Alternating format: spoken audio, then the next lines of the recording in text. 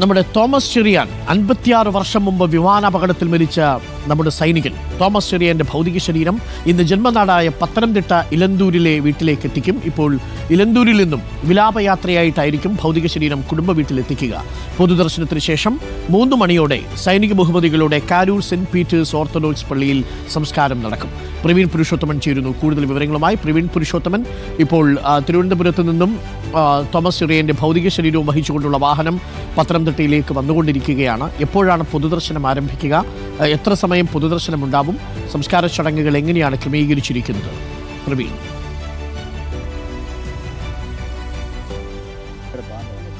Good morning Arun.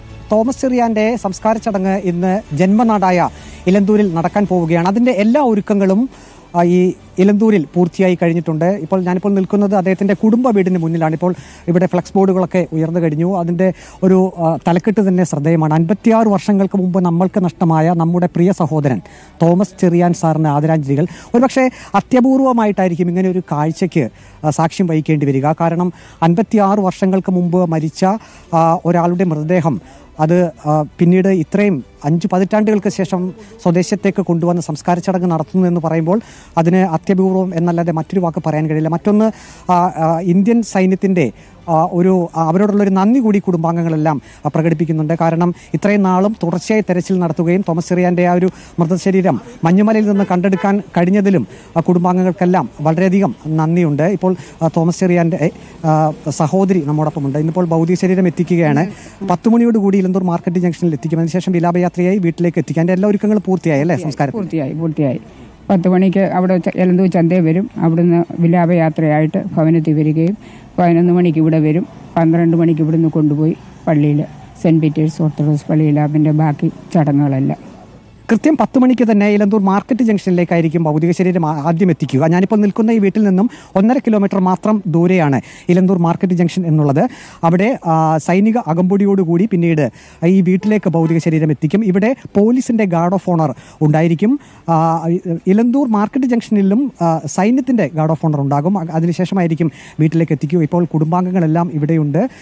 അല്പസമയം കൂടി കഴിയുമ്പോൾ കൂടുതൽ ആളുകൾ ഇങ്ങോട്ടൊക്കെ ഈ വീട്ടിലേക്ക് എത്തിച്ചേരും എന്നാണ് പത്ത് പ്രതീക്ഷിക്കുന്നത് പത്ത് മണിക്ക് തിരുവനന്തപുരത്ത് നിന്ന് ഈ വാഹനം പുറപ്പെട്ടിട്ടുണ്ട്. അതിന്റെ ദൃശ്യങ്ങളാണ് പ്രേക്ഷകർ കണ്ടത്. അല്പസമയത്തിനുള്ളിൽ തന്നെ പത്തനംതിട്ടയിലേക്ക് ഈ തോമസ് ചെറിയാന്റെ ഭൗതിക ശരീരവും വഹിച്ചുകൊണ്ടുള്ള വാഹനമെത്തും. ഒന്നൊന്നര മണിക്കൂർ നേരം മാർക്കറ്റ് ജംഗ്ഷനിൽ നിന്ന് വിലാപയാത്രയെ വീട്ടിലെത്തിച്ച് അവിടെ പൊതുദർശനമുണ്ടാവും. അതിനുശേഷമായിരിക്കും പള്ളിയിലേക്ക് കൊണ്ടുപോവുക. എന്തായാലും നമ്മളെ വല്ലാതെ അത്ഭുതപ്പെടുത്തിയൊരു വാർത്തയാണ്. അൻപത്താറ് വർഷങ്ങൾക്ക് മുമ്പ് ഒരു വിമാനാപകടത്തിൽ കൊല്ലപ്പെട്ട ഒരു ധീര സൈനികൻ ആ ധീര സൈനികന്റെ മൃതദേഹം നാട്ടിലേക്ക് തിരികെ എത്തിക്കുകയാണ്. അമ്പത്താറ് വർഷമെന്ന് പറയുമ്പോൾ ആ സഹോദരിക്ക് അന്ന് പന്ത്രണ്ട് വയസ്സ് മാത്രമേ പ്രായമുള്ളൂ.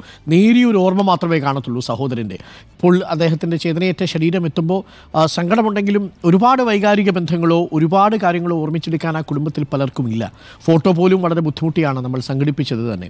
ആ ഫോട്ടോയാണ് പ്രേക്ഷകർ കാണുന്നത്.